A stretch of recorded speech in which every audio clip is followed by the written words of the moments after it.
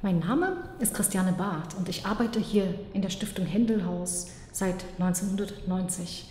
Ich war erst die Kustodin für die Musikinstrumentensammlung und habe auch die Ausstellung hier mit aufgebaut. Und jetzt seit August bin ich die Leiterin des Museums. Mein Name ist Clemens Birnbaum. Ich bin Direktor der Stiftung Händelhaus und Intendant der Händelfestspiele in Halle an der Saale.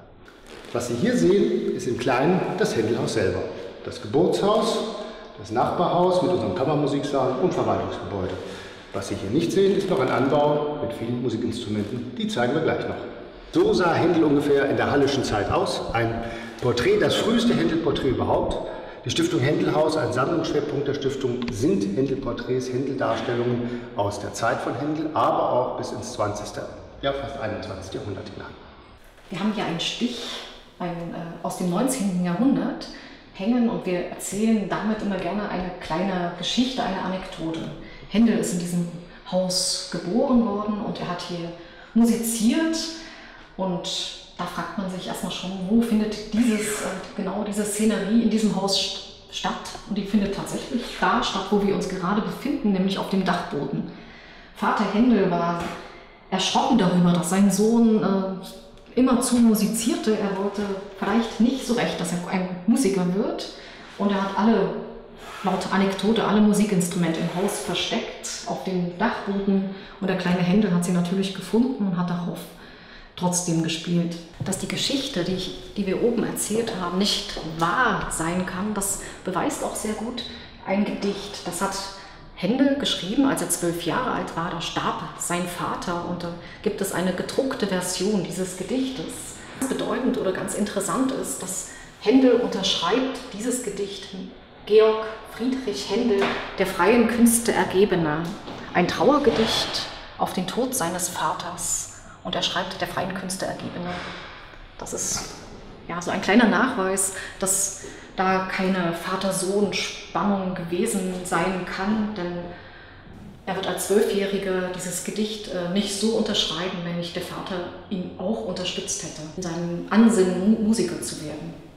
Also Händel hat über 40 Opern geschrieben, über 30 Oratorien, dieses Über und Um, diese Zahl kommt zustande, aber man kann das bei, bei Händel nicht ganz, ganz genau beziffern, weil er hat viele Werke immer wieder, wieder neu bearbeitet. So existieren Fassungen, Fassung 1, Fassung 2, Fassung 3 und man weiß, man kann gar nicht so genau sagen, wo beginnt jetzt das neue Werk oder die neue Werkzählung. Also das wird dann immer als HWV A, B, C bezeichnet, aber das könnten drei Werke sein oder auch nur ein Werk.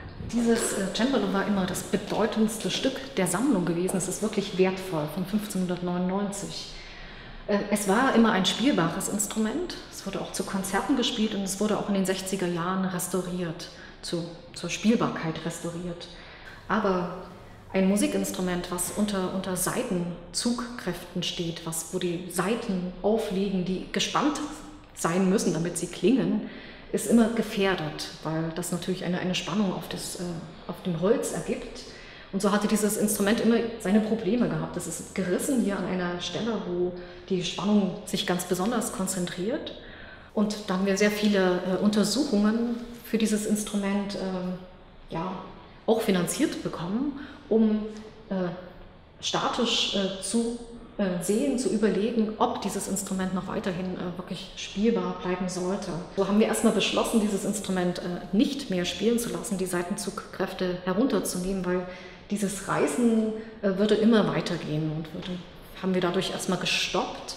Und im Moment streben wir ein Projekt an, dieses Instrument auch nachbauen zu lassen. Wir bauen aber nicht von allen historischen Instrumenten Nachbauten, damit sie spielbar sind, sondern als ein neues Projekt, das vom Bund auch gefördert worden ist, haben wir Digitalisate erstellt. Und zwar keine visuellen Digitalisate, sondern Audiodigitalisate.